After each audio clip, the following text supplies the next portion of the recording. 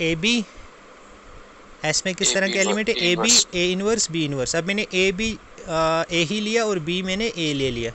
तो इसलिए बी की जगह भी अगर मैं ए लिखूं तो ये किसके इक्वल आ जाएगा? ए ए ए इनवर्स ए इनवर्स ये भी एस में चला जाएगा by the very structure of this element अब इन दो को पहले आप कंबाइन करो। इन दो को। क्या आएगा? ए ए इनवर्स किसके इक्वल हो जाएगा? आइडेंटिटी इंटू ए इनवर्स अब ए इंटू आइडेंटिटी किसके इक्वल हो जाएगा? ए और ए इंटू ए इनवर्स तो ए इनवर्स किसके इक्वल हो गया? कुल मिला के ये क्या हो गया? आइडेंटिटी इसका मतलब बच्चे ये एलिमेंट जो था ए ए ए इनवर्स ए इनवर्स ये किसमें बिलोंग करता था? एस में. बट ये किसके इक्वल है? आइडेंटिटी इसका मतलब एस किसको कंटेन कर रहा है? आइडेंटिटी को। तो इसलिए बच्चे ये आइडेंटिटी किसमें बिलोंग करेगी? एस में बिलोंग करेगी तो एस क्या हो गया? नॉन एम्प्टी क्योंकि कम से कम एक एलिमेंट तो इसमें बिलोंग कर रहा है ना। चलो अब देखो yes. हम कोई एलिमेंट एक्स लेते हैं। एक्स किस तरह का होगा? A B A inverse B inverse where A B belongs to G ये किसमें बिलोंग करता है? एस में। अब इसका इनवर्स ले लो।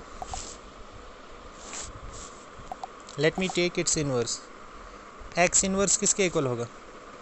A B A inverse B inverse का होल इनवर्स किसके इक्वल होगा, शाबाश? इसको आप एक एलिमेंट मान लो। इसको आप दूसरा एलिमेंट मान लो। तो ये हो जाएगा सेकंड एलिमेंट अगर मैं वाई लेता हूँ और ये एक्स वाई नहीं कुछ और ले लो। सपोज़ मैं ये आर लेता हूँ और ये एस लेता हूँ। तो ये आर एस का इन्वर्स है। तो आर एस का इन्वर्स किसके इक्वल होता है?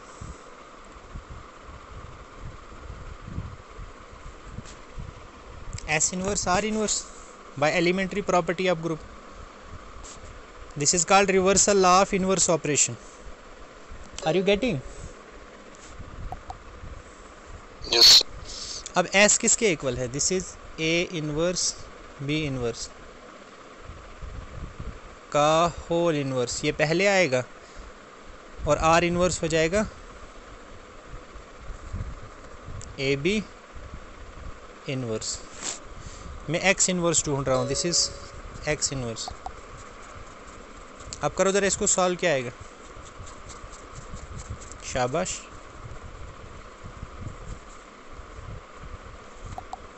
बोलो। बी इनवर्स का होल इनवर्स ए इनवर्स का इनवर्स और ये क्या आ जाएगा? बी इनवर्स ए इनवर्स अब किसी भी एलिमेंट के इन्वर्स का इन्वर्स क्या होता है? वो element itself A inverse का inverse element itself into B inverse A inverse अब देखो ये बिल्कुल एस के एलिमेंट की तरह दिख रहा है। B and A are some elements of S so B A into B inverse A inverse ये किसमें चला जाएगा? एस में क्योंकि एस के अंदर ऐसे एलिमेंट्स होते हैं। एक एलिमेंट दूसरा एलिमेंट उनका प्रोडक्ट फिर उनके इन्वर्सेस का प्रोडक्ट उन सब का प्रोडक्ट किसके अंदर चला जाता है? एस के। तो हमने दो चीज़ें देखी। एक तो एस के अंदर क्या है? आइडेंटिटी भी है और एस क्या रख रहा है? इन्वर्स भी है। लेकिन एक प्रॉपर्टी एस के अंदर नहीं है। कौन सी प्रॉपर्टी नहीं है इसके अंदर बच्चे? क्लोजर प्रॉपर्टी ना होने की वजह से ये जो है ग्रुप नहीं होगा। एस ग्रुप नहीं बनेगा। हालाँकि एस के अंदर आइडेंटिटी भी है। एस के अंदर हर एलिमेंट का इन्वर्स भी है। लेकिन फिर भी ये ग्रुप नहीं बनेगा क्योंकि अगर हम कोई भी दो एलिमेंट लेंगे सपोज़ मैं दो एलिमेंट्स लेता हूँ एक्स और वाई एक्स किस तरह का होगा?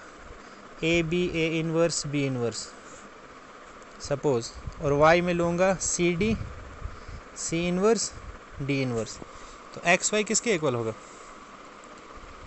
A B A inverse B inverse into C D C inverse D inverse.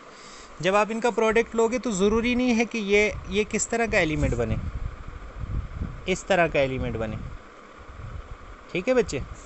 देखो इनका प्रोडक्ट जो है क्या ज़रूरी है वो इस तरह का एलिमेंट बनेगा?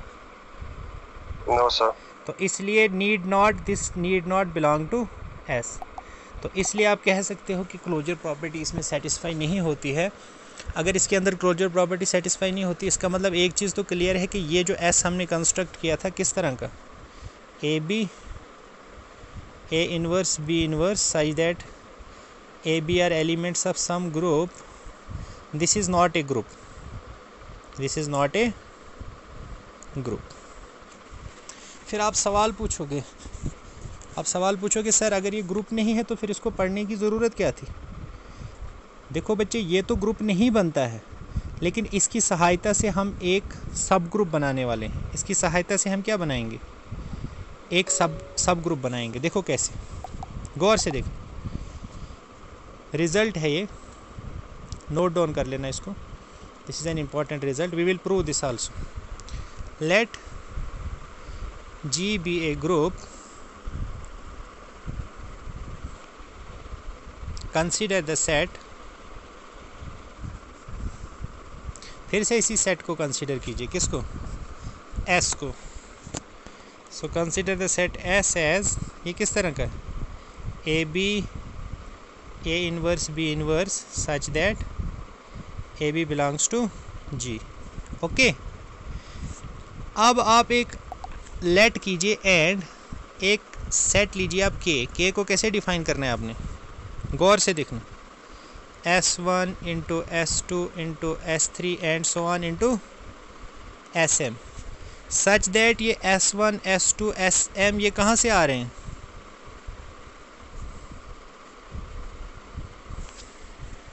ये सब के सब कहाँ से आ रहे हैं बच्चे? एस से आ रहे हैं। तो ये जो नया स्ट्रक्चर होगा ना ये सब ग्रुप बन जाएगा जी का। ये किसका सब ग्रुप बन जाएगा? This is subgroup of G देखो एस तो नहीं बना था सब ग्रुप ऑफ़ जी लेकिन अगर मैं एस के एलिमेंट्स अगर मैं एस की सहायता से किस तरह के एलिमेंट्स ले लूँ? मतलब एस के जितने भी एलिमेंट्स हैं, उनका मैं उनके मैं फाइनेट प्रोडक्ट्स लेता जाऊँ। क्या क्या लेना है मुझे उनका? देखो, ये मैं जो ले रहा हूँ एलिमेंट इसके वो किस तरह के हैं? किसकी सहायता से मैं कंस्ट्रक्ट कर रहा हूँ? एस के एलिमेंट्स बेसिकली मैं एस के एलिमेंट्स के फाइनेट प्रो, फाइनाइट प्रोडक्ट्स ले रहा हूँ। सपोज़ मैं कोई इसके तीन एलिमेंट्स उठा रहा हूँ उनके तीन का प्रोडक्ट जो है वो के में बिलोंग करेगा। सपोज़ इसके मैं चार एलिमेंट उठा रहा हूँ उसके चार का प्रोडक्ट के में बिलोंग करेगा। इसके दस एलिमेंट उठा रहा हूँ मतलब जितने भी फाइनेट प्रोडक्ट्स लूँगा मैं एस के एलिमेंट्स के वो किसमें बिलोंग करेंगे?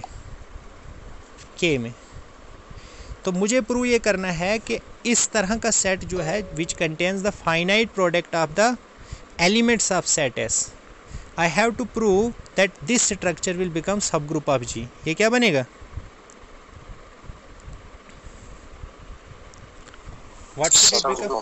अब सब अब सब ग्रुप ऑफ़ जी प्रूव करने के लिए मुझे दो चीज़ें प्रूव करनी है। क्या क्या? एक तो ये सबसेट होना चाहिए जी का। किसका सबसेट होना चाहिए? जी का और क्राइटेरिया सेटिस्फाई करना चाहिए। कौन सा क्राइटेरिया कि अगर मैं एक्स वाई किसमें ले लूँ? के में ले लूँ तो एक्स वाई इनवर्स भी किसमें बिलोंग करना चाहिए? के में। अगर मैं ये प्रूव कर लेता हूँ देन आई एम डन तो सबसे पहले सबसेट प्रूव करना कौन सा मुश्किल है? आप देखो ना एस किसका सबसेट है? जी का। क्योंकि एस के एलिमेंट देखो ना किस तरह के हैं। अब ए भी जी का एलिमेंट है बी भी जी का एलिमेंट है इनवर्स भी जी का एलिमेंट बी इनवर्स तो ओबियसली एस के जितने भी एलिमेंट्स हैं वो किसमें चले जाएँगे? जी में. तो एस किसका सबसेट है? जी का. अब एस अगर जी का सबसेट है और वही ये जो के हमने बनाया है ये किसकी सहायता से बनाया है? एस की सहायता से. तो के के एलिमेंट्स किस पे बिलोंग करेंगे? एस में. तो के किसका सबसेट होगा? एस और एस किसका सबसेट है? इसका मतलब के के किसका सबसेट होगा? जी का। जी का। तो एक चीज़ तो क्लियर हो गई कि के इज़ सबसेट ऑफ़ जी अब मुझे ये प्रूव करना है कि अगर मैं कोई भी दो एलिमेंट एक्स वाई के में ले लूँ तो एक्स वाई इन्वर्स भी किसमें बिलोंग करने चाहिए के में। तो उस केस में के क्या बन जाएगा जी का? सब ग्रुप क्या बन जाएगा इसका?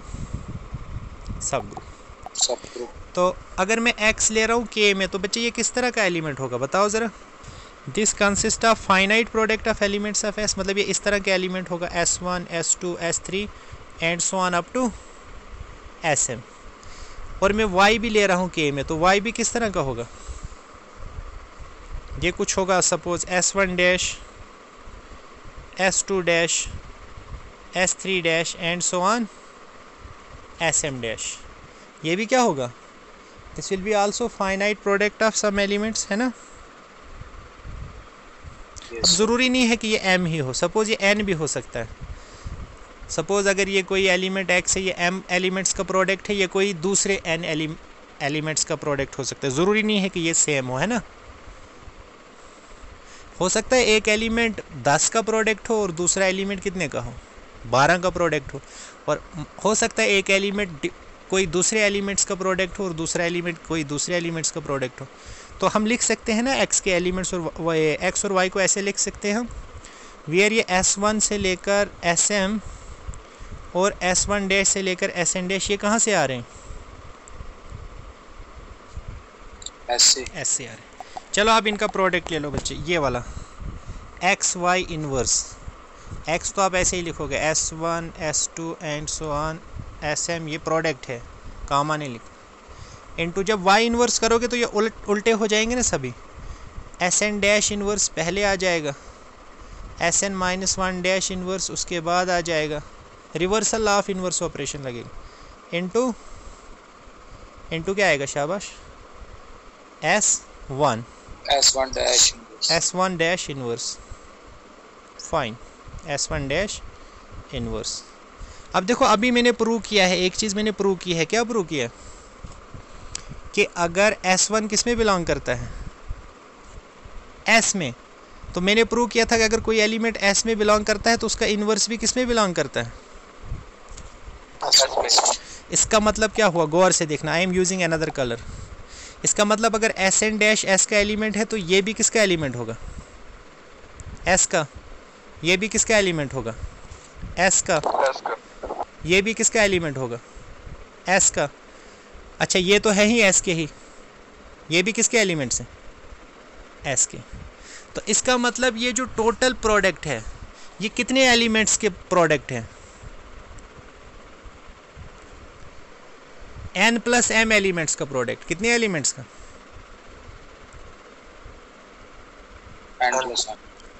अब बिलाशक एन प्लस एम है लेकिन एन प्लस एम भी क्या होता है? फाइनाइट नंबर ही होता है ना। सर इसका मतलब एक्स वाई इनवर्स भी कितने एलिमेंट्स ऑफ़ एस का प्रोडक्ट है? फाइनाइट तो इसका मतलब एक्स वाई इनवर्स मैं लिख सकता हूँ। X Y inverse is the product of product of finite number of elements of S यदि कोई एलिमेंट को अगर हम लिख सकते हैं finite number of elements of S तो वो किसका एलिमेंट हो जाएगा बेसिकली ऐसा कौन सा सेट है? जल्दी से बोलो। अभी डिफाइन नहीं किया मैंने। कौन से सेट में फाइनाइट नंबर ऑफ़ जो, कौन से सेट में एलिमेंट्स जो है वो product of finite number of elements of S होते हैं? जल्दी से बोलो। तो एक्स वाई इनवर्स किसमें बिलोंग करेगा? के में। तो हो गया ना प्रूव मैंने एक्स वाई किसमें लिया था? के में। और प्रूव कर दिया मैंने एक्स वाई इनवर्स भी किसमें बिलोंग करता है? के में। तो भाई सब किसकी आवाज़ आ रही है बच्चे? ओके दैट्स फाइन तो मैंने प्रूव क्या कर दिया? के इज़ भाई subgroup criterion by subgroup criterion क्या मिल गया मुझे? K being subset of G and satisfying the necessary criterion necessary and sufficient condition K क्या हो जाएगा? बोलो बच्चे। सब ग्रुप सब ग्रुप ऑफ़ जी और बच्चे ये जो सब ग्रुप ऑफ़ जी होता है ना इसको क्या कहते हैं हम? इसी को कहते हैं हम। क्या कहते yes this K is called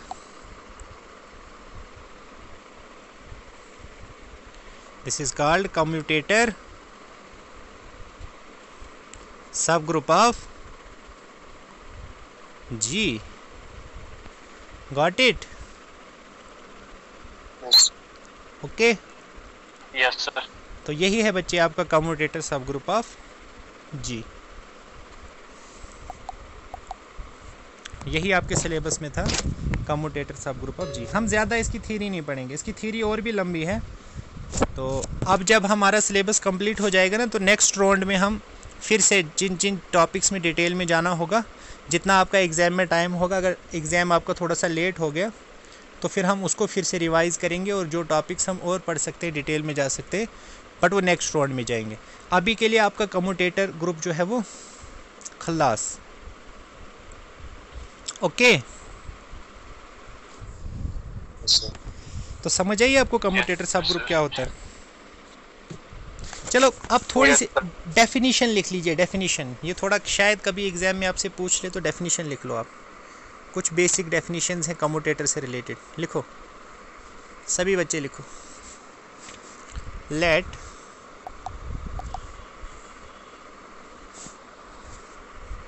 A B belongs to G G is A अगर आपको बच्चे इसका प्रूफ लिखना होगा ना प्रॉपरली आप अपनी स्पेक्ट्रम की बुक से प्रॉपरली इसका प्रूफ लिख सकते हो। ठीक है मैंने आपको समझा लिया है। समझ आ रही है आपको? Yes, sir. हाँ वहाँ से Yes, नोट sir. वहाँ से नोट डाउन कर लेना। बिल्कुल ऐसा ही प्रूफ वहाँ पे लिखा हुआ है। आप वहाँ से लिख सकते हो no issues let A B belongs to G and G is a group then ये जो प्रोडक्ट होता है ना कौन सा प्रोडक्ट ये वाला A B A inverse B inverse इस प्रोडक्ट को क्या कहते हैं? शाबाश। This is non as commutator of A and B इसको क्या कहते हैं?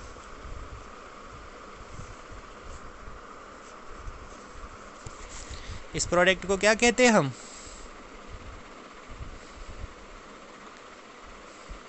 हाँ जी बच्चे। कम्यूटेटर ऑफ़ ए एंड अगर मैं इसको लिखूँ ए और बी की जगह में क्या लिखूँ आपको समझाने के लिए? अगर मैं ऐसे लिखूँ C D C inverse D inverse इसको क्या कहेंगे? समझ आई ना आपको? मैं क्या कहना चाहता हूँ ठीक है? या इसको सिंपली क्या कहते हैं? या सिंपली इसको कहते हैं एक कम्यूटेटर इन जी या क्या कहते हैं? एक कम्यू एक कम्यूटेटर ऐसे प्रोडक्ट को क्या कहते हैं? Commutator in G. या आप इसको पूरा एलिमेंट्स का नाम लेके कहो, या सिंपली इसको क्या कहो आप? Commutator in ji. लेट करो। अब नेक्स्ट देखो नेक्स्ट नेक्स्ट लेट करो कि एस क्या डिनोट्स करता है? S denotes the set of all commutators S किसको डिनोट करता है?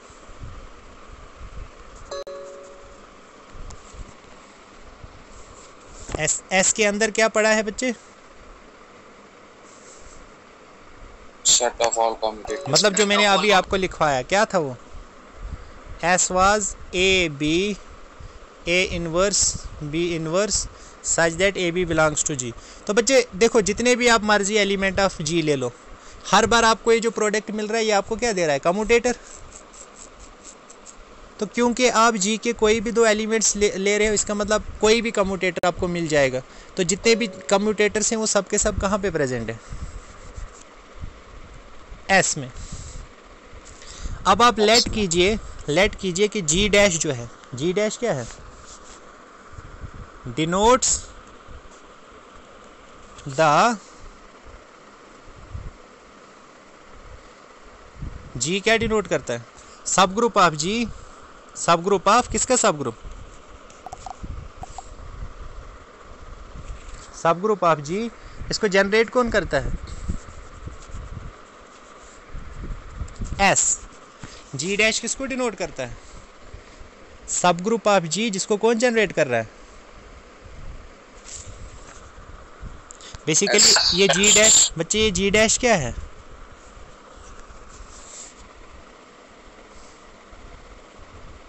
अभी जो के हमने पीछे किया ना इसी को मैंने किससे डिनोट किया है? जी डैश जी डैश से। तो इसी जी डैश को हम क्या कहते हैं? Then G dash is called commutator sub group of G इसको क्या कहते हैं? कम्यूटेटर ग्रुप नहीं, commutator sub group of G this is called commutator sub group of G या इसको कहते हैं आर ये नाम इसके याद रखना बच्चे, बहुत इंपॉर्टेंट है। या इसका नाम क्या है? डिराइव्ड या इसको क्या कहते हैं? डिराइव्ड शाबाश।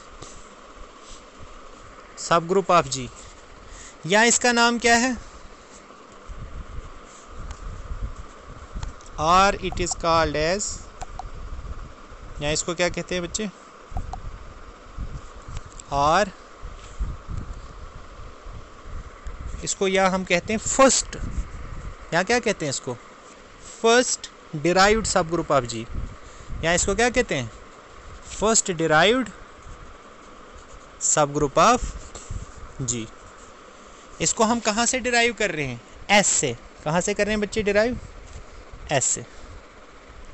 समझ आ रही है आपको? सर हाँ इसको लिखते कैसे हैं? जी डैश को इन जनरल कैसे लिखते हैं? शाबाश। S one alpha one S two alpha two and so on S M alpha M such that S I कहाँ से आ रहे हैं? एस आई कहाँ से आ रहे हैं? एस से। और अल्फ़ा आई क्या हो सकते हैं? या तो प्लस वन होगा या क्या होगा? माइनस वन क्योंकि कुछ वालों की पावर वन है और कुछ की पावर माइनस वन है ना? देखा ना आपने पीछे? और आई किसके बीच में लाई कर रहे हैं? वन से लेकर एम के बीच। I lie between one and M तो ये जो जी डैश होगा यही क्या है आपका? This is first derived sub group of G या इसको आप कहते हो डिराइव्ड सब ग्रुप ऑफ़ जी या इसको हम कहते हैं commutator sub group of G. Is that okay अब देखो बच्चे हम क्या करेंगे? सपोज़ मैं यहाँ पे जी डबल डैश लेता हूँ। मैं क्या लेता हूँ? जी डबल डैश तो जी डबल डैश जो होगा वो कहाँ से डिराइव होगा? जी डैश से। कहाँ से डिराइव होगा? जी डैश मतलब पहले ग्रुप का काम कौन कर रहा था? जब मैंने जी को डिराइव किया था जी डैश को डिराइव किया था तो ग्रुप कौन वर्क कर रहा था? जी तो मुझे क्या मिला? G dash. फिर से मैं सेम वही प्रोसेस रिपीट करूँगा। तो जी डैश की सहायता से मुझे क्या मिलेगा? G double dash. फिर मैं जी डैश को वही मानूँगा बेस ग्रुप वहाँ से क्या मुझे मिलेगा? जी थ्री करते करते मुझे क्या मिलेगा जी? अगर मैं एन एन तक इसको ले जाऊँ तो जी एन को क्या कहते हैं? दिस इज़ कॉल्ड एंथ इसको क्या कहते हैं बच्चे? एंथ कम्यूटेटर सब ग्रुप क्या कहते हैं इसको? Nth commutator sub group of शाबाश जी या इसको क्या कहते हैं? Nth derived sub group of G या इसको क्या कहते हैं? Nth derived sub group of G. बोलो बच्चे, किसी को कोई डाउट जो आपका जी है, वो बेसिकली जी ज़ीरो होता है। जो आपका जी है, वो क्या होता है? जी ज़ीरो और इन जनरल जो आपका जी एम प्लस वन होता है, वो किसका डिराइव्ड सब ग्रुप होता है? जी एम का। किसका? जी एम मतलब क्या है इसका? इसका मतलब ये है कि जी टू किसका होगा डिराइव्ड सब ग्रुप जी वन का। जी वन का। जी थ्री किसका होगा? जी टू का। दैट इज़ जी टू का डिराइव्ड सब ग्रुप ये आपको याद रखना है। ओके इन जनरल जो जी एम प्लस वन होगा वो किसका डिराइव्ड सब ग्रुप होगा? जी एम का। और बच्चे इनमें पता है क्या ऑर्डर होता है? सबसे बड़ा इनमें जी होता है। जी किसको कंटेन करता है? जी वन को। फिर जी वन का सब ग्रुप कौन होता है? जी टू जी टू का सब ग्रुप कौन सा होता है? जी थ्री ऐसे ही करते करते लास्ट पे आपका क्या होता है? जी एन ये जो सीरीज़ बन रही ना ये, इस सीरीज़ को कहते हैं this is called derived series of G this is called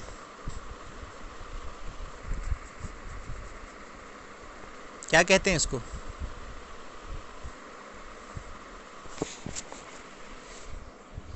What is this called as sir जो जी सर जो जी टू होगा Series of हाँ जी बच्चे।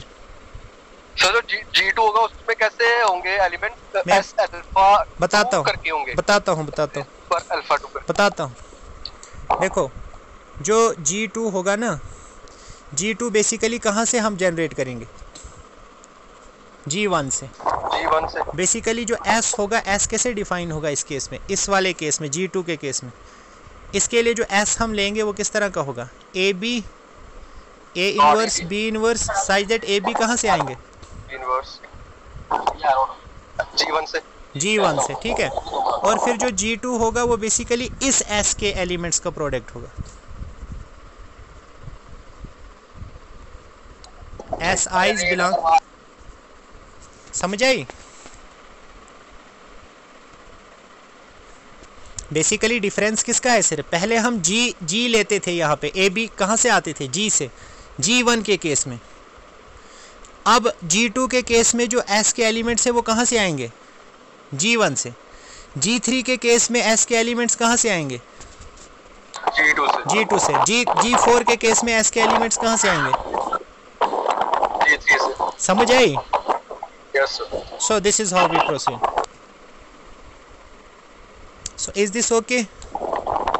Yes लेकिन जैसे सर जी डैश के थे एलिमेंट जी डैश में तो आप अल्फ़ा अल्फ़ा ले रहे थे ना? हाँ। एस रेस्ट पर अल्फ़ा एस रेस्ट पर अल्फ़ा हाँ। तो वो आपने सिर्फ़ एक नोटेशन टाइप दी थी। बच्चे वो तो वैसे ही आएँगे ना आपके। हाँ वो जो मैंने लिया ना ये जो लिए ना मैंने हाँ। एस वन अल्फ़ा वन वो मैंने Alpha one, ज, uh, वो जर्नल वो जर्नल नोटेशन है इसकी। वो जनरल नोटेशन हाँ हाँ वो जनरल नोटेशन है इसकी। इज़ दैट ओके ठीक। बच्चे मैंने इसका लेक्चर जो है वो रिकॉर्ड भी किया है मैं यूट्यूब चैनल पे डाल दूँगा। अगर किसी बच्चे को यहाँ पे क्लियर नहीं हुआ है वहाँ भी एक बार आप देख लेना ठीक है? यू सर ये आपको मिल जाएगा। यूट्यूब का लिंक मैं ग्रुप में शेयर कर दूँगा। आ, आ, आगे भी जो आपके फ्रेंड्स वगैरह हैं उनके साथ भी आप शेयर कर सकते हो ठीक है? जो क्लास में प्रेजेंट नहीं थे। okay thank you so much. Thank you so much.